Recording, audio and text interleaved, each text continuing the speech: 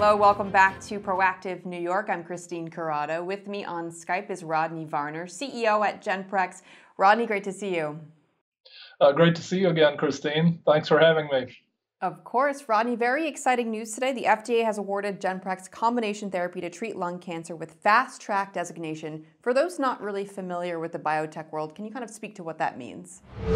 First of all, it means that the FDA has reviewed our data. That's our cumulative data, both preclinical and clinical, over uh, multiple clinical trials, and determined that our drug, in combination with uh, osimertinib, which is marketed as Tagrisso, uh, has the potential to uh, address a serious unmet need uh, or excuse me, an unmet need in a serious uh, or life threatening medical condition, which in our case is lung cancer.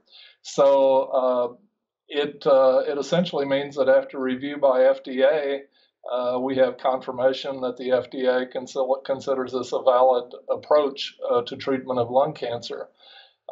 we, we, we think that validation is very important. Uh, also, the, the, fast track designation will give us uh, advantages uh, as we move uh, towards approval in uh, speeding up the process with the FDA. There, there's an opportunity for more meeting interactions uh, and essentially cooperation from the FDA to facilitate the process of approval, which is also very important. So, what kind of data specifically did the FDA review from Genprex's clinical trials that kind of really led to this point? Well, first of all, we had uh, extensive preclinical data, all done by researchers at MD Anderson Cancer Center over a per- period of many years, uh, uh, researching the effects of our gene therapy in lung cancer uh, both as a monotherapy and in combination with uh, a number of different drugs, including osimertinib. Uh, then uh, the, from the, the preclinical research, uh, we moved to uh, clinical trials, and we have had multiple clinical trials. We did a phase one clinical trial with our gene therapy used as a monotherapy in lung cancer.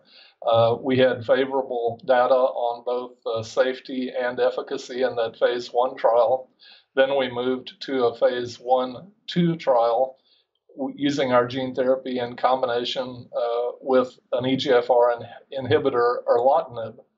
Uh, we treated uh, patients in, as I said, the phase one and two portions of that trial uh, we completed the phase one portion uh, and have done part of the phase two portion. We have interim data from the phase two portion.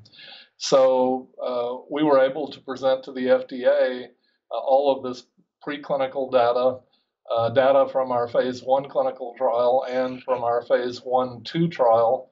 And it was with the benefit of reviewing all of that data that the FDA determined that we had the potential to uh, uh, meet a serious uh, or an unmet need in a serious disease, and therefore gave us this designation.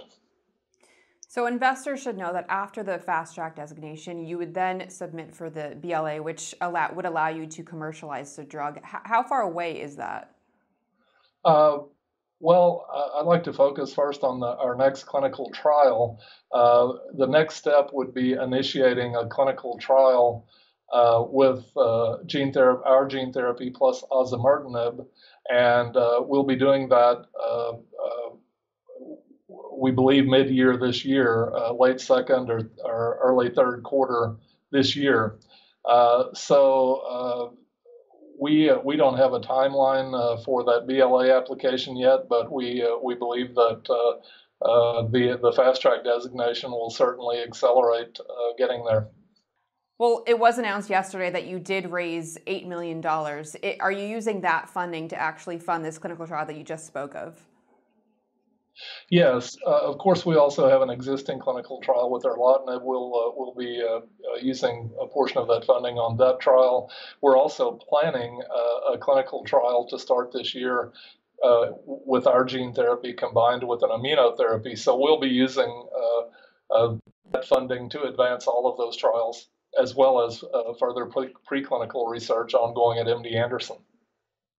Well, Roddy, congratulations again on the fast track designation. Hope to speak with you soon. Thanks so much. Uh, thank you, Christine.